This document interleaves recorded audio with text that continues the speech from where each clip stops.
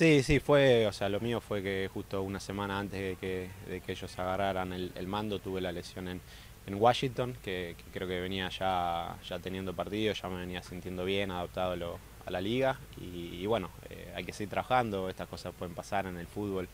eh, así que bueno, eh, mi mentalidad es ahora seguir trabajando y dar el, el 100%. Sí, es duro, es duro estar, estar, lesionado, más que nada por la cabeza y bueno, todo lo que, lo que fue el cambio que hubo en el club con la, con la llegada de Leo.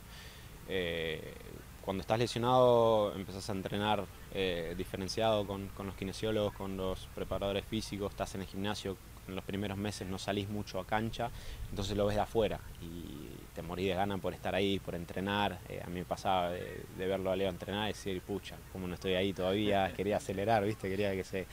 que se cicatrice rápido. Pero bueno, eh, uno tiene que estar bien de la cabeza, nos apoyamos mutuamente, eh, creo que eso